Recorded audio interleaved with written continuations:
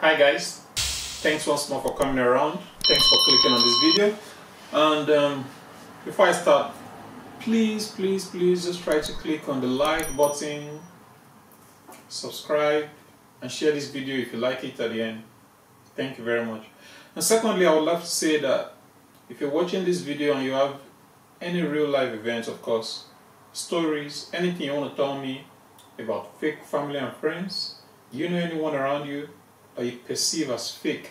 Do you know do you know any energy around you, any love around you that you perceive as fake? Do you have any funny story, any funny activity of people around you that you want to share with me, you want to share with the world? You can share it through me and I'm going to portray your story as my story.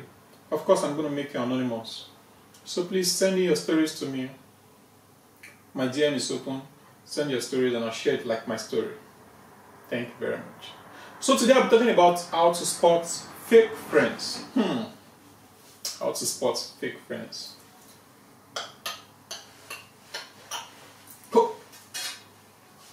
Yeah, because the Bible said that the heart of man is desperately wicked. Remember, I always make references to Jesus. The same people that hailed Jesus when he was entering Jerusalem. Hail the King, hail the King of the Jews. They were putting palm, palms, palms on the floor. These are the same people that shouted, Crucify him, crucify him. They freed Barnabas, a thief. So in life, the people that will lift you are the people that will bring you down. But don't worry, don't be worried about that.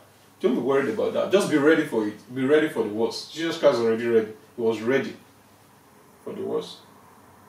So be ready for whatever happens. Now back to the topic of the how to spot fake friends. Hmm. How to spot fake friends. Now, let me start with this story. There is this guy, was my old school friend, yeah, and he came to my DM one day on Instagram. Said um, was complaining that um, he needs money, he's broke, he needs to pay some hospital bills, his, his, his mom is sick and dying, he's been spending money for so many years on her, and now he's broke. He needs my financial assistance.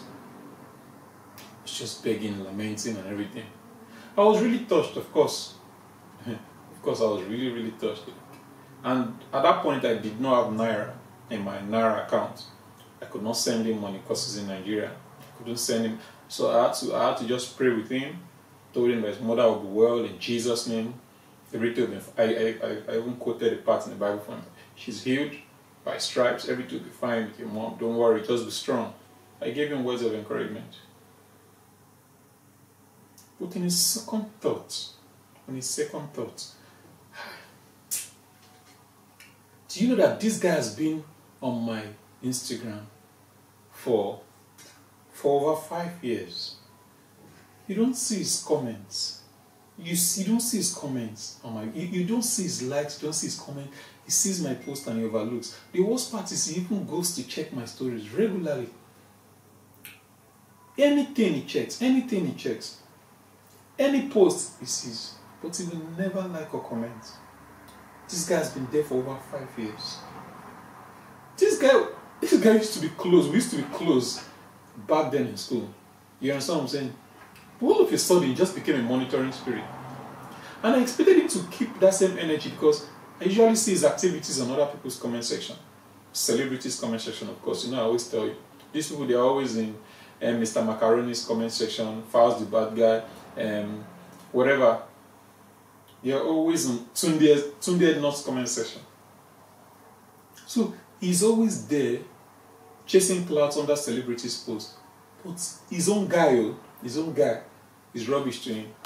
Now, he's coming to his guy's DM to ask for help. Now, I don't the Bible says wisdom is profitable to direct. At this juncture, I want, I want to just lecture us on how to beg. Begging 101. Yeah, how to beg for money. Yeah, begging 101. If you want to beg someone for money, you want to you want to seek financial assistance from people, and you don't have direct contact to them, You don't have a direct relationship with them at the, at the, at, the moment. What you just do is you track them on social media. When you add them on social media, engage their posts, engage them always. Make sure you try to get their attention. In fact, sometimes be the first to post under their comment section. Once in a while, say hello in their in their DM. Even if they don't reply you, just leave it at that. Just say you're checking up on them. Do you understand? Hello, how are you doing? Long time. Just checking up on you, bro. You understand? Like, if, if that person has a YouTube channel, just try your best to subscribe. Comment on the person's YouTube channel. Follow the person on Twitter. Follow the person on Facebook. Follow the person everywhere. See, give the person bumper to bumper. The person will be like, wow, who is this person? Even if that person is proud, like, and he has sense, he will calm down and say, wow, this my friend, they really encourage me. This my friend is really, really encouraging me. This my old friend. And if you come to the person's DM tomorrow to ask for help, the person will gladly do it. He will go out of his way. He does not even mind borrowing money to give you. But it's not when you've been a monitoring spirit, when you've been a fake blood, then you come to the person's DM when you people just want to use you. That's the point. People just want to use you. You're like, you're like trash to them. They don't need you for anything. They're not interested in making you better. The second class or the second set of people I want to talk about. Hmm. You see, these are the congratulations people. Congratulations. You know what I mean by that? I always tell people, I say, be careful about those people that do not tell you congratulations when you win. When you post an achievement on social media, you see, they just ignore. They don't. They don't. They don't celebrate with you. Your birthdays, your your whatever anniversaries, they don't celebrate with you. But be more wary about those people that says congratulations, congratulations. Con-. They're always saying congratulations. You see, a few of them are genuine, but guess what? oh my god, oh my god. There are some congratulations you need to really be careful about. I know what I'm saying. Let me give you a practical example. So, when I got my first skilled job here in Europe, as I'm just just in an IT role precisely. So I my neighbors, of course, they were excited. Uh, hey, John, wow, congratulations, makes sense. You know, one, so one day I go back from work, and they were all gathered in the kitchen. Like, I think it was just four flats, four flats to one kitchen then. So they were all gathered in the kitchen, and then one was that's precisely three guys and two girls, because I think they had two female visitors. So were five guys. Oh, John, congratulations, got a job. Now, I was the first to get a job among my classmates then. Yeah, as a master student. I was still a student when I got this job. And while they were telling me congratulations, congratulations, one of them picked me out from the crowd or from, from the gathering, took me to a private place and said, Guy, I'm really, really happy for you. I'm really, really happy for you that you got this job, man. I really can't believe this. I'm so happy for you, man. Success, man. I wish you all the best. But be very, very careful. These guys there telling you congratulations. Not all of them wish you well. Not all of them. Just be very, very careful, guy. I know how they tell you. I know what I'm telling you. Just be very careful. That was what he told me. And of course, it appeared like I took it lightly, but I didn't. I just told him, oh, no shit, no shit. I shook his hand, like, oh. As time went on, I realized that this guy was just a monitoring spirit in my life. This same guy that called me out to tell me that I should be careful about others. This is the same guy that instigated the gossip that um, this guy is not, I don't think this guy got a skilled job. I think this guy is still a cleaner. Yeah, obviously. He's still a cleaner, he still does these um, unskilled jobs, these student jobs. You know, when you come to Europe as a student, you do this um, menial jobs, whatever. It could be catering, it could be kitchen assistants, it could be office cleaning, you know. And most times you do these jobs through recruitment agencies, you understand? And when I was working with the recruitment agencies, I was wearing black on black. Most recruitment agencies, they always prefer you wear black on black. I don't know. They have their different uniforms or colors. I was wearing black on black to work every day. Black top, black lace, and black shoes and all this stuff.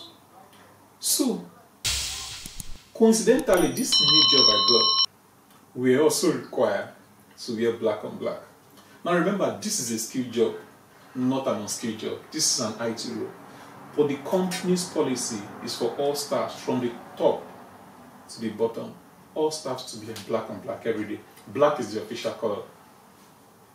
You understand? So this guy, this this this same guy was spreading the rumors that ah, guy, see the way John dresses to work, the same way he dresses he was dressing before when he was cleaning, when he was doing kitchen work, when he was doing um, kitchen work.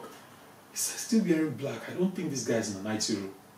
So I think there was a question he asked me about my job, um, about my job, and I was like, mm, I couldn't give him a precise answer. I said then we're still undergoing training.